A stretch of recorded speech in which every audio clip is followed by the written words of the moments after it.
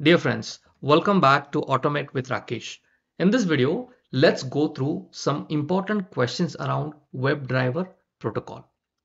Now let's see the very first question. What browsers are supported by the WebDriver protocol in UiPath? This one we have discussed. Options A, Google Chrome, Safari, Internet Explorer. B, Mozilla Firefox, Opera, Microsoft Edge. Google Chrome, Mozilla Firefox, Microsoft Edge browser, D, Microsoft Edge, Safari. Now tell me which one is the right answer. Pause this video and start commenting your answer in the comment section of the video. Alright, I hope you got the answer.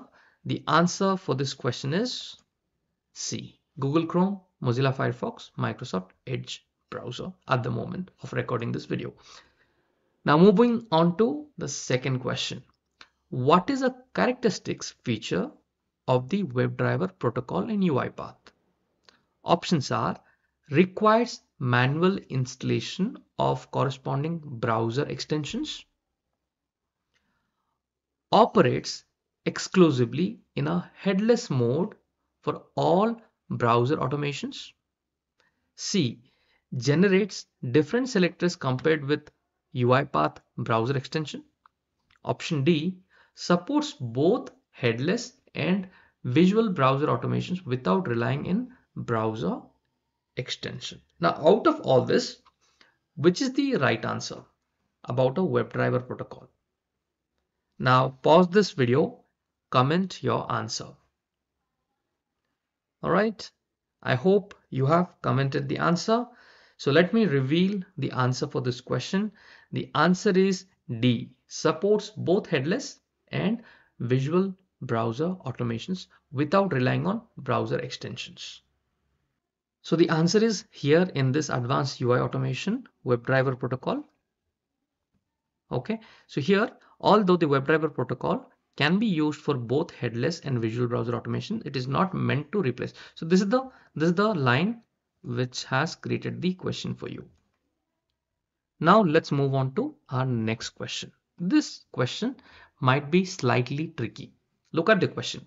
A developer is utilizing the Edge WebDriver protocol.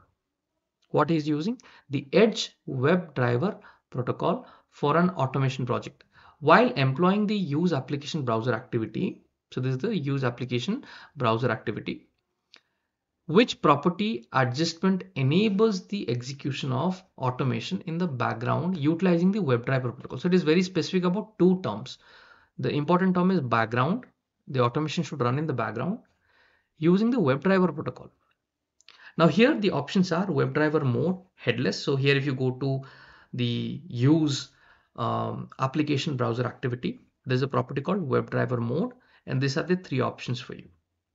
So are you going to go with WebDriver mode headless? Are you going to go with WebDriver mode with GUI? Input mode simulate. If you see, there's also input method called simulate. Are you going with the simulate option? Or will you go with input mode background? So which is the right option based on the context of this question? So please pause this video and start commenting your answer. All right. I hope you have commented the answer. So the right answer for this question is WebDriver mode headless. So headless is all about background automation. So here you find the proof documentation proof in UiPath platform the WebDriver protocol introduces support for headless browser automations. This means that the browser automations don't necessarily have to rely on visual elements on the screen such as window frames automations are executed in the background. Automations are executed in the background. So headless is the answer. I hope you have enjoyed these questions and you have commented correct answers for all of these questions. So great. Let's move on to our next topic